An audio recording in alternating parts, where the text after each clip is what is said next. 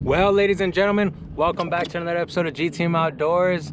Um, today, drastic change of scenery. A long ways from Southern California. We're on uh, Lake Guntersville in Alabama. Gonna be doing a little bit of pre-fishing for the Trail Series Championship and the Challenge Championship of kayak bass fishing. So we're, I mean, fishing's been tough, I heard, uh, but we're gonna give it our all. We're gonna see what we can do very excited to be out on this lake. Bucket list lake for me. So we're gonna see what we could do. Shout out to uh, Flukemaster gene jensen and uh, fishing with norby saw them this morning. And uh yeah let's get it on.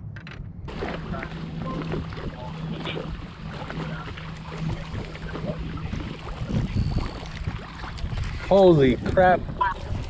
Dad i'm on a giant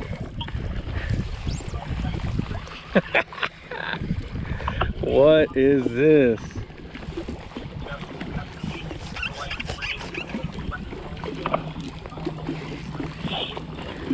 Well, boys, talking on the phone with my father and I hooked up on, this has gotta be a decent bass because this thing is pulling hard.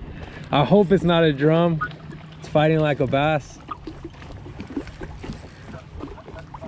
Oh yeah, that's a good one. Holy smokes. That's a good fish. Holy crap. Yeah, that's a that's that's a good spotty right there. It's like a two pound spot. Hey, I'm gonna FaceTime you on my other phone. All right. Okay, bye. All right. Well, ladies and gentlemen, 1625. That is my first Lake Guntersville bass, a spotty. See you later, dude. Shoo.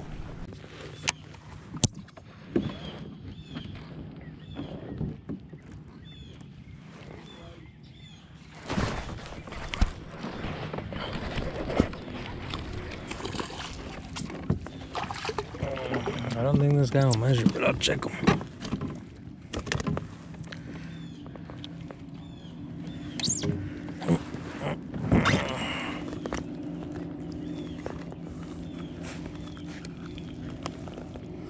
Mm. Yeah, this guy will actually measure. So we're in a little tournament. I'm gonna check them out.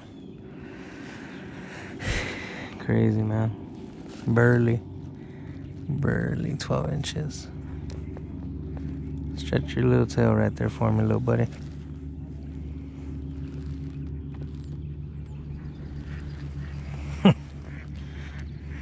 Second Guntersville bass is a nice little 12 holy crud that guy was ready to go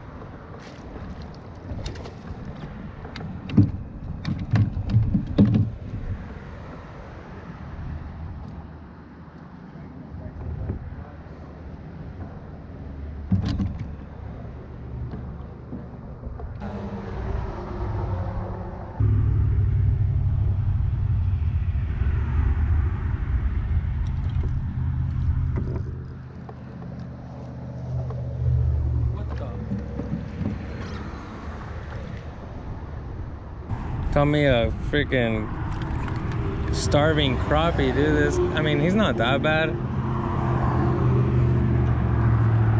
That's nuts. Crazy. You gonna take off or what?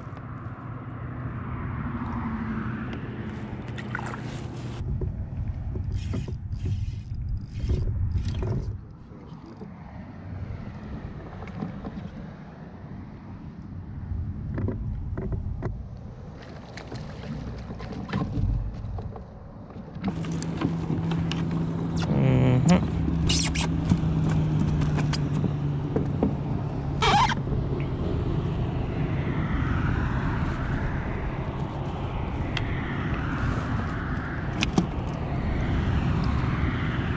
half inch limit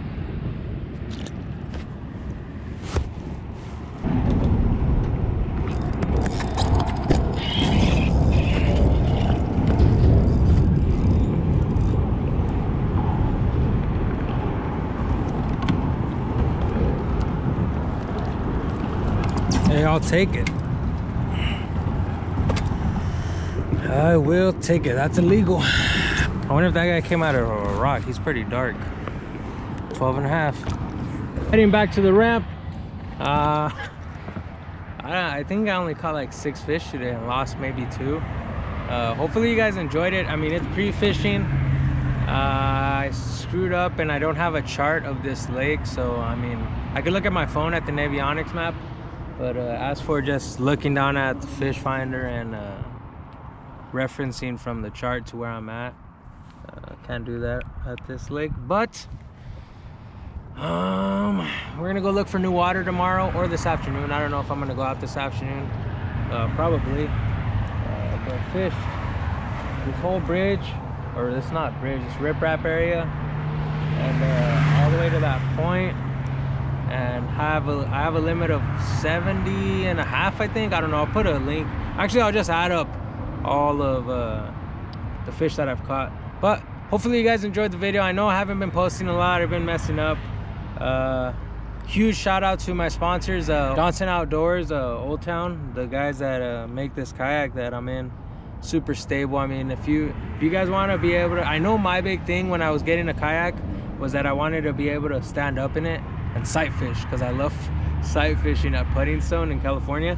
And uh, this thing you could do it. In another huge shout out to Dakota Lithium. They we just teamed up.